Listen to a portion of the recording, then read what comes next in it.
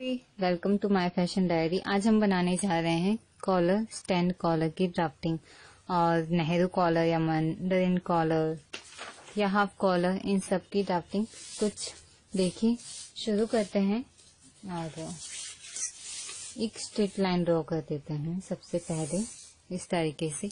हमें जो मेज़रमेंट चाहिए स्टैंड कॉलर के लिए सबसे पहले लेंथ है। तो लेंथ लेनी है हमें हाफ़ ऑफ़ नेक लाइन जो नेक लाइन है हमारी टोटल उसका हाफ़ लेना है।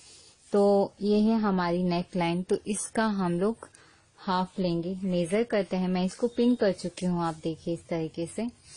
और अभी हम लेते हैं। ये चेक करते हैं कि हमारी नेक कितने हैं। इस तरीके से आप नेक की लेंथ चेक कीजिए। ये हाफ़ नेक की लेंथ आएगी। जब चेक करते हैं तब। लगभग 8.25 इंच तक है। तो हमारी नेक की लेंथ है आ, हाफ़ नेक लाइन है 8.25 इंच 8.25 इंच पर मार्क करते हैं इस तरीके से। अभी करते हैं हम कॉलर की विथ कॉलर की लेंथ तो हो चुकी है 8.25 इंच और ये नेकलाइन का हाफ़ है और जो विथ है स्टैंड कॉलर में वो होती है वन एंड हाफ़ इंच ये फिक्स है। और कोई ज़रूरी नहीं कि आप वन एंड हाफ़ इंच ही लें। आप अगर कम लेना चाहते हैं तो कम कर सकते हैं, पर पहले ये वन एंड हाफ़ इंच पर ड्रॉ कीजिए, उसके बाद में उसको ट्रिम करके आप कम कर सकते हैं। वो आगे देखिए अभी। पहले हम लोग ड्रॉ करते हैं ये विथ हमारी, हमें विथ लेनी है वन एंड हाफ़ इंच तो वन एंड हाफ़ इंच पर इस तरीके से ये सारी लाइन ड्रॉ करते हैं। अभी इन सबको मिलाते हुए वन एंड हाफ़ इंच का ये ये हुआ वन एंड हाफ़ इंच के लिए। अभी कॉलर की ड्राफ्टिंग कैसे होगी? देखिए। तो देखिए अभी ड्राफ्टिंग कॉलर की ड्राफ्टिंग के लिए आपको यहाँ से ये जो हिस्सा है ये बॉटम का हिस्सा होगा, ये वाला हिस्सा, ये बॉटम का होगा। और यहाँ से इस लाइन पर आपको हाफ़ इंच पर एक मार्क देना है। ये हुआ हाफ़ इंच पर एक मार्क इस डॉट को इस बॉटम की लाइन से मिलाना है। बॉटम की लाइन का सेंटर ये 8.25 इंच पर है तो हमें इसके सेंटर भाग पर एक मार्क देना है। ये है हमारा सेंटर का भाग, और यहाँ पर ये हाफ़ इंच पर एक मार्क दिया है तो इसको यहाँ से मिलाते हुए कर्व की तरह इस तरीके से मिलाएँगे हम। अभी यहाँ से आपको देखिए, ये वाला जो हिस्सा है यहाँ आपको पॉइंट टू फाइव इंच पर एक मार्क देना है। ये है हमारा point two five inch point two inch और इस पॉइंट को इस पॉइंट से मिलाना है और ये जो लाइन मिलाएँगे, इसको थोड़ा सा आगे लेकर जाना है। आगे कितने लेकर जाना है? ये जो विथ है हमारी 1.5 इंच यानी वन एंड हाफ़ इंच की विथ है कॉलर की। इसमें आपको 0.25 इंच लेस करना है। तो 0.25 इंच लेस करेंगे तो आएगा हमारा one and one point two five inch तो ये जो लाइन यहाँ से इसको मिलाते हैं जब, देखिए इस तरीके से। अब इस लाइन को आगे बढ़ाना है। वो, ये जो टोटल यहाँ से जो लाइन एंडिंग तक जो होगी वो 1.25 इंच की होनी चाहिए। इसलिए हम लोग यहाँ तक इसको मिलाते हैं। ये है हमारा 1.25 इंच पर ये एक लाइन ये जो लाइन यहाँ से यहाँ तक है 1.25 इंच की है। यहाँ से यहाँ तक का हिस्सा सॉरी 0.25 इंच का है। यहाँ से यहाँ तक का हिस्सा पॉइंट टू फाइव इंच का, यहाँ से यहाँ तक का हिस्सा है हाफ़ इंच का, और ये जो पॉइंट है, इस नेक लाइन ये जो हाफ़ नेक लाइन हमें मार्क किया है, इसका जो सेंटर का भाग है वो, अभी ये इस तरीके से आया है तो इसको हल्का सा कर्व देते हुए शेप देना है। ये देखिए।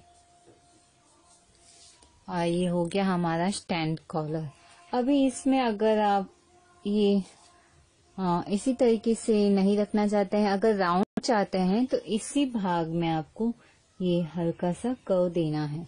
और और ज़्यादा कर्व देना है और तो वैरायटी जो क्रिएटिविटी है वो आपकी बहुत कुछ हो सकती है कॉलर में।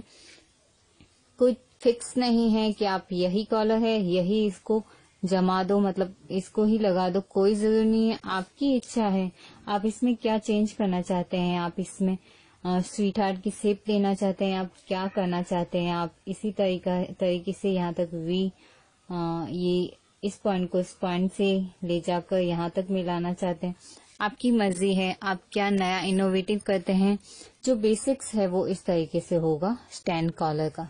तो ये विथ है हमारे वन एंड हाफ़ इंच एक छोटा सा recap one and half inch का ये विथ है, ये है हाफ़ ऑफ़ नेकलाइन हमारे जो भी आप कुर्ती टॉप या ब्लाउज या कुछ में, किसी में भी डाल रहे हैं वो, ये सेंटर है इस भाग का, यहाँ से यहाँ तक के हिस्से का सेंटर का पॉइंट है. यहाँ से यहाँ तक है ये हाफ़ इंच और यहाँ से यहाँ तक है पॉइंट टू फाइव इंच और यहाँ से यहाँ तक जो लाइन बनती है, इस पॉइंट को पहले इस पॉइंट से मिलाते हैं और यहाँ से आगे लेकर जाते हैं वो उसकी लेंथ विथ होती है। One point one and half inch में से point two five inch less करते हैं। तो one point two five inch आता है। तो इस तरीके से ये लाइन ड्रॉ होती है। इसको भी यहाँ से शेप देते हैं। बस। अगर आप चाहते हैं यहाँ पर राउंड शेप देना तो आप यहाँ राउंड दीजिए। अगर आप इसको राउंड कम देना चाहते हैं, यहाँ से कम दे दीजिए। ये सब आपकी मर्ज़ी है और इसको हम कट कर देते हैं।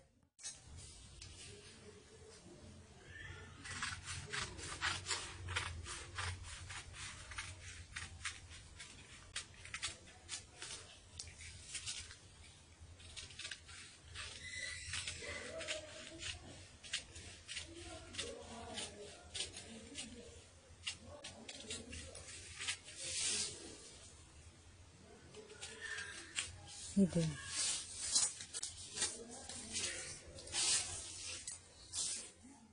देखिए कट होने के बाद हमारा कॉलर इस तरीके से रहेगा।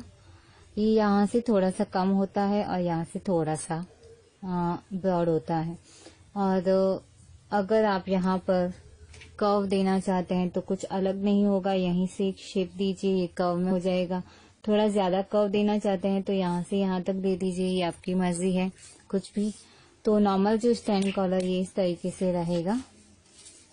ये देखिए आप जब इसको अटैच करेंगे आपके आ, जो भी अपैरल में जो बना रहे हैं उसमें तो ये इस तरीके से रहेगा। तो एक सिंपल सा ड्राफ्टिंग है। स्टैंड कॉलर में कुछ नया नहीं है पर बहुत तो चलता है। अभी एक चीज़ जो अगर आप ये इतनी विथ नहीं रखना चाहते हैं कम रखना चाहते हैं तो इसके लिए क्या करना होगा? ये तो हिस्सा हमारा बॉटम का है, ये वाला हिस्सा। ये नेक लाइन में अटैच होगा। आपको अगर कम चाहिए, थोड़ा कम करना है तो आप यहाँ से कम कीजिए। इस हिस्से से थोड़ा सा कम कर दीजिए। सपोज़ आप चाहते हैं एक इंच का ही हो आपका कॉलर तो यहाँ पर ये वन एंड हाफ़ इंच का है तो आपको हाफ़ हाफ़ इंच सब में लेस करना होगा। और अगर उससे कम चाह कम, इतना कम तो अच्छा भी नहीं लगेगा। देखिए। इस तरीके से हाफ़ इंच पर सब और मार्क कीजिए। ऊपर के हिस्से में ही। और इन सबको कट कीजिए ज्वाइन करते हुए।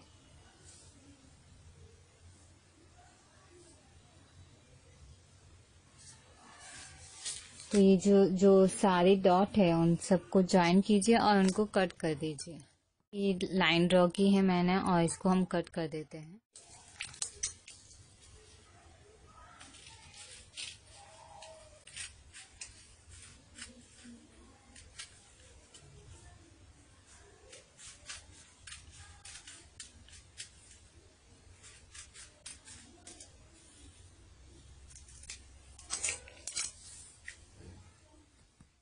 रहेगा वन इंच का स्टैंड कॉलर और इतना काफ़ी है।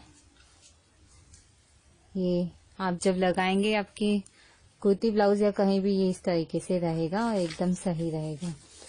और एक चीज़ ये है कि ये सिर्फ़ इंटरफेसिंग के लिए है, यानी कि जो कैनवास आपको कट करना है तो वो इतना ही होना चाहिए।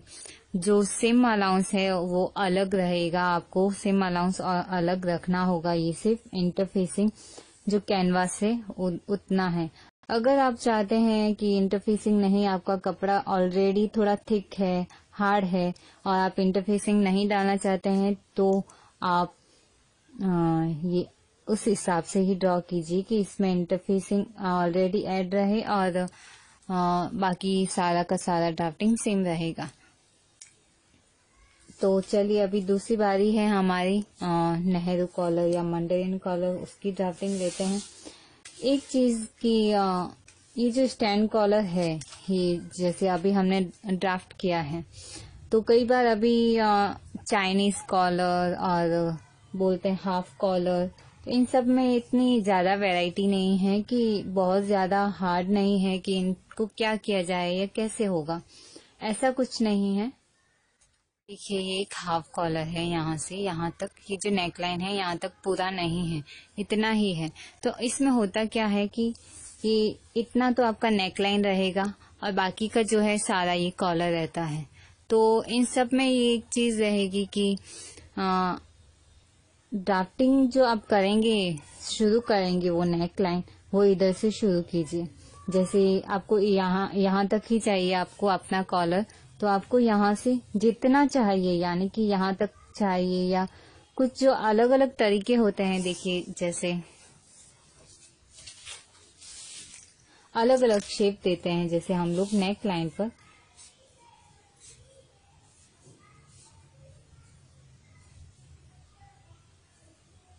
यहाँ से वी शेप दे दिया। या फिर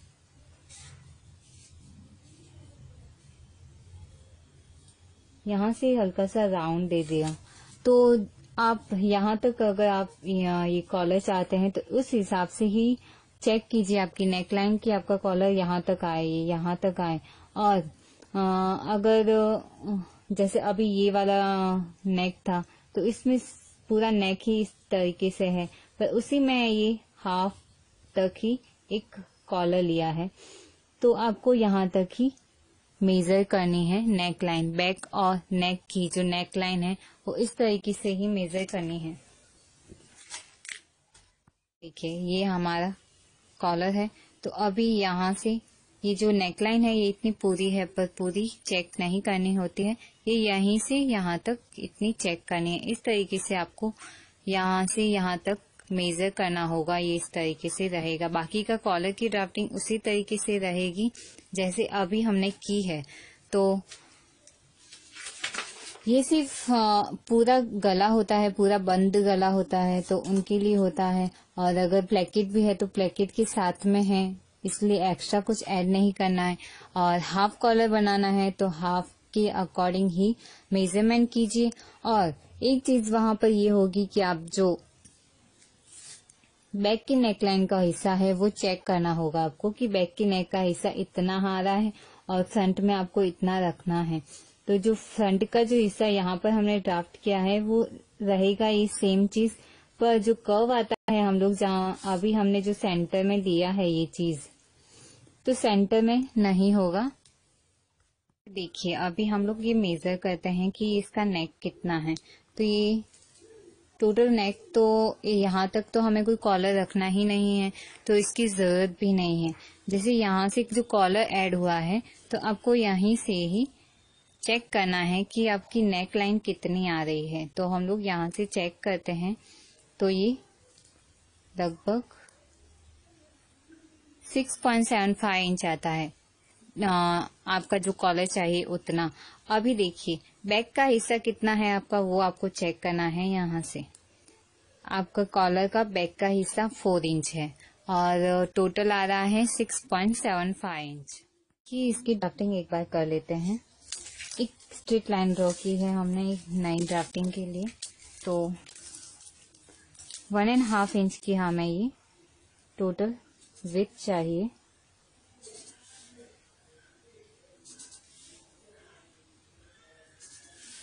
और लेंथ हमारी है 6.75 इंच। ये 6.75 इंच। ये जो हिस्सा है, ये ओपनिंग का रहता है, यानी फ्रंट ओपनिंग का। तो बैक का हमारा जो हिस्सा था, वो फोर इंच का था। तो हम लोग फोर इंच पर भी एक मार्क दे देते हैं। ये है फोर इंच। अभी इस, इन सारी लाइंस को मिलाइए।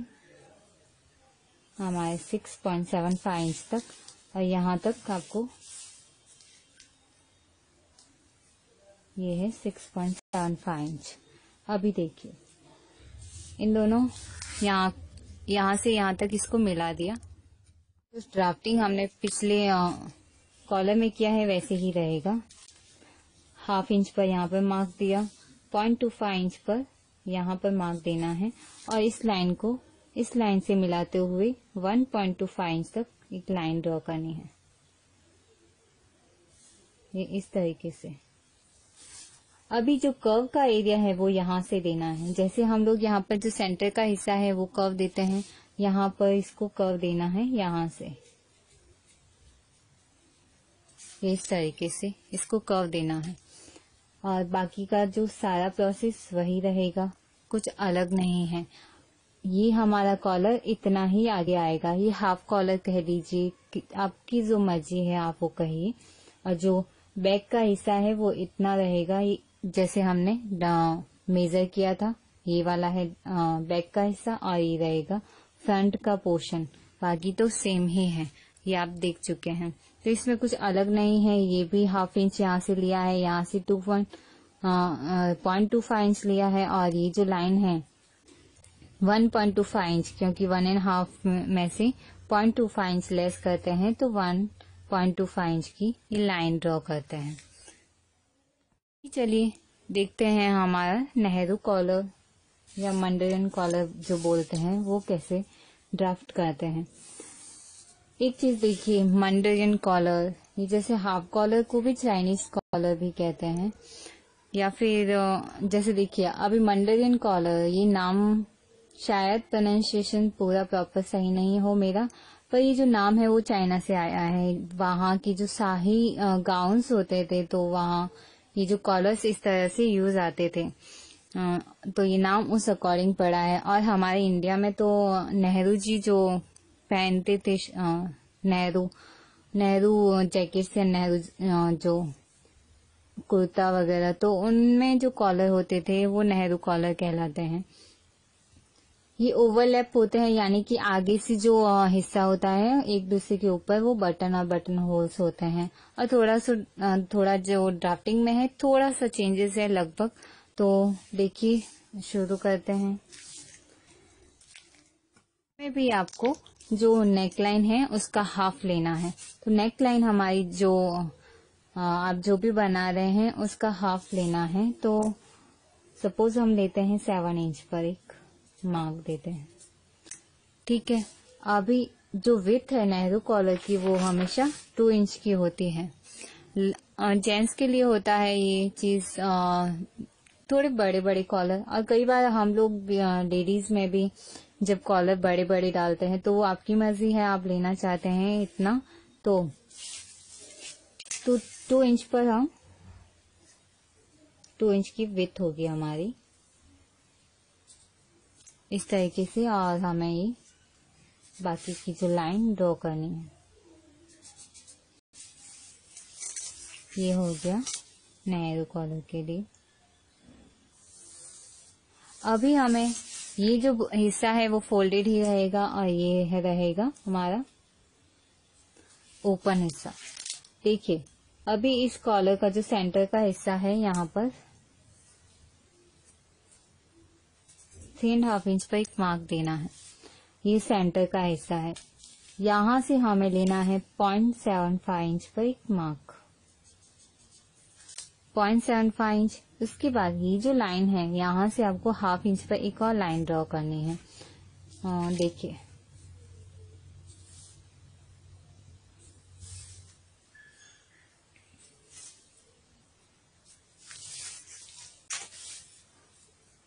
मैं एक डॉट डॉट पे लाइन ड्रॉ करती हूँ। इस तरीके से। अभी देखिए, यहाँ पर हमने पॉइंट सेवन फाइव इंच पर एक मार्क दिया है। अभी ये जो लाइन हाफ़ इंच पर हमने ड्रॉ की है ऊपर तो यहाँ ये जो लाइन है, इसको स्ट्रेट कर दीजिए। और यहाँ से हमें लेना है हाफ़ इंच पर एक मार्क ये हमारा हाफ़ इंच पर मार्क है। इसको यहाँ से मिला देना है। इस पॉइंट को इस पॉइंट से मिलाना है। और ये जो हिस्सा है, ये इससे मिलाइए कर्व ले जाते हुए।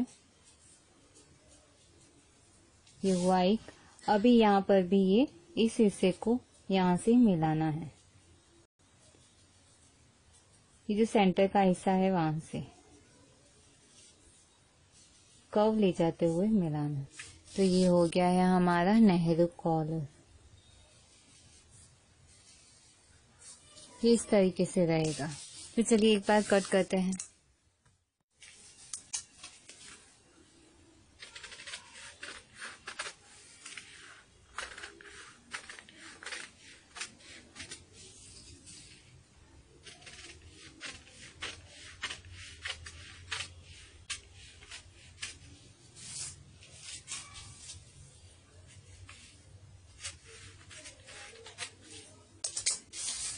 ये रहेगा हमारा नेहरू कॉलर ये इस तरीके से। अब देखिए जब आप लगाएँगे तो ये इस तरीके से रहेगा। जब आप लगाएँगे तब देखिए ये है हमारा नेहरू कॉलर ये हमारा है स्टैंड नॉर्मल स्टैंड कॉलर इस तरीके से रहेगा। ये जो आ, आगे से थोड़ी सी इसकी विथ थोड़ी ज़्यादा रहती है और आ, जो फ्रंट में आता है वो कम होती है इसकी थोड़ी सी width point two five inch तक। और लगभग ही कॉलर इस तरीके से है। ये जब हम ड्राफ्ट करते हैं तो इस तरीके से ये सिर्फ़ इंटरफेसिंग के लिए है। यानी कि जो कैनवास बुकरम जो भी है, वो इतने होंगे, उनमें साया सेम अलाउंस ऐड करना बाकी होता है। और ये इस तरीके से रहता है, ये हाफ़ कॉलर तरीके से रहेगा हमारा स्टैंड कॉलर, ये नेहरू कॉलर, ये है हमारा हाफ़ कॉलर। तो कुछ भी डिफिकल्टी वाली बात नहीं है कि कुछ ज़्यादा हार्ड है या ऐसा कुछ। और अगर आपको कोई सवाल है इसके रिलेटेड तो कमेंट कीजिए। वीडियो पसंद आया है तो लाइक ज़रूर कीजिए। सब्सक्राइब नहीं किया है चैनल को तो सब्सक्राइब कीजिए। आपको फ्यूचर में बहुत अच्छे ट्यूटोरियल्स मिलेंगे। Thank you so much.